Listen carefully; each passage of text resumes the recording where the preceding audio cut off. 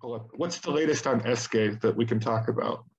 Um, look, uh, it's not drill season yet. Okay, uh-huh. we're uh, we're approaching drill season probably about mid June. So really, the discussion here should be about what the plans are for this year. What you know, we can touch on what was hit last year. In the the holes, we had eight, uh, 20 holes that were drilled, and 18 of those hit significant mineralized intercepts, including some very high grades. Uh, but now we're going back and we're going to follow up on on the drilling at uh, TV Jeff. Those are the two areas that we tested last year. But what's even better is we have a large number of targets that we've developed since then. We've got some uh, what we call Bleg data back. This is stream sediment data that shows there are numerous other targets across this property.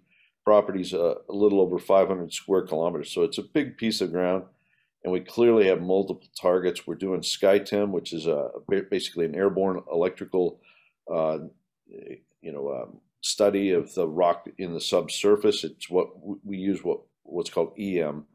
Uh, EM simply stands for electromagnetic. It's electromagnetic magnetic uh, um, uh, detection of, of rock in the ground. In particular, it differentiates conductive rocks from resistive rocks, electrically conductive versus electrically resistive. And uh, this allows us to differentiate targets very easily. Like we can start to see uh, discrete drill targets with this. So between the, the stream data, the Bleg data, and this uh, airborne EM, we're going to have a whole host of new targets to test.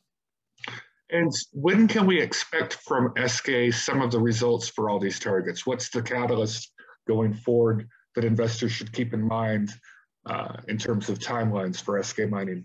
Okay, let's talk about the timeline. So this is May. It's melt season, basically.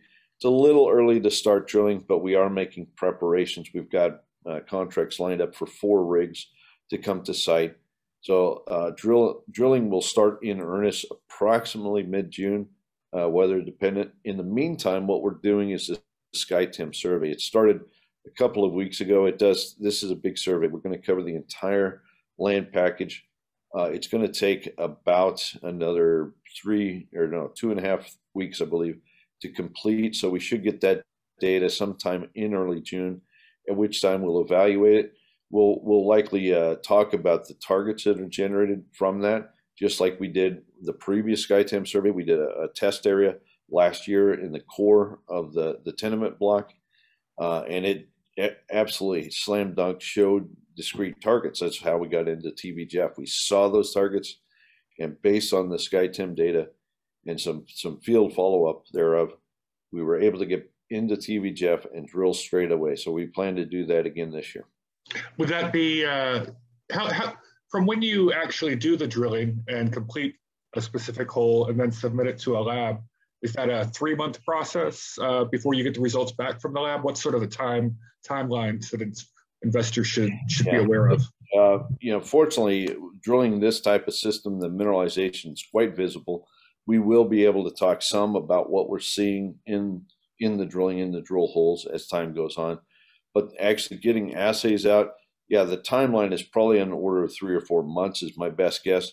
But the the situation last year with COVID and the the ability for labs to turn around samples was was uh, well seriously undermined, um, and it took forever to get assays. You know, look at uh, look at our situation. We finished in mid October, I think, the drilling, and it took until I think it was early September or sorry, early February before we got our final assays for the last batch of holes.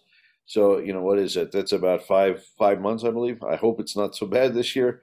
Uh, but um, you know, there's a lot of people working. The, the game is on. The bull is on. So a lot of companies have money.